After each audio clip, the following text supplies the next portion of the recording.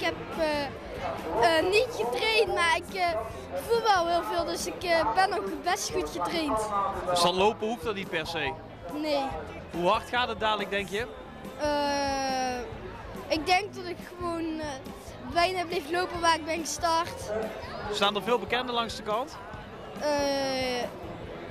Open de Noma, mama en de andere Open de Noma. Helemaal alleen gewoon buiten gaan rennen.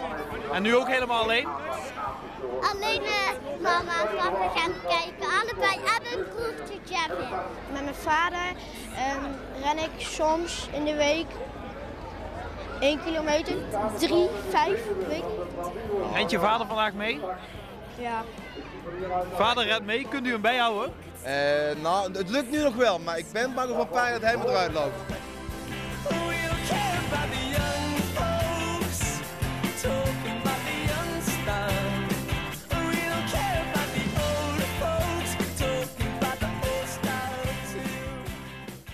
Winnaar van de Bambino loop.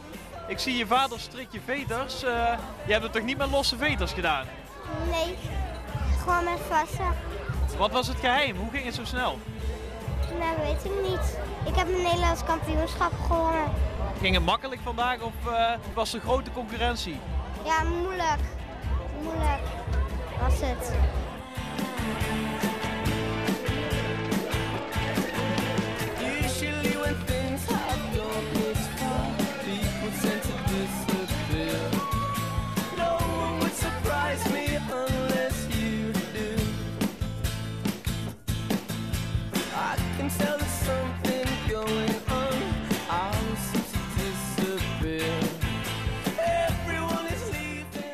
Fleur, van harte gefeliciteerd. Uh, je hebt alle jongens verslagen. Mm -hmm. Hoe doe je dat? Gewoon achterrennen. En, en goed oefenen.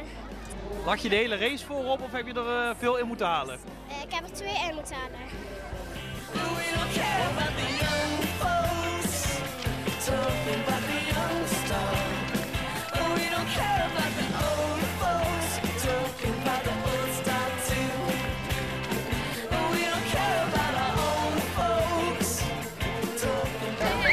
Milko, weer winnaar bij de Venloop. Uh, het begint vast te prik te worden.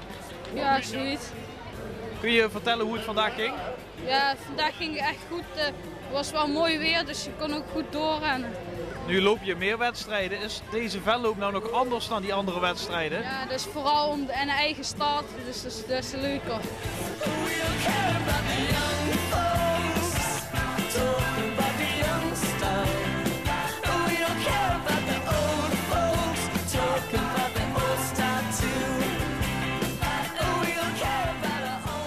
Gefeliciteerd, de winnaar van de scholierenloop. En je zei net, vorig jaar had je broer gewonnen. Ja, ja en uh, dit moest ik mijn naam houden dus.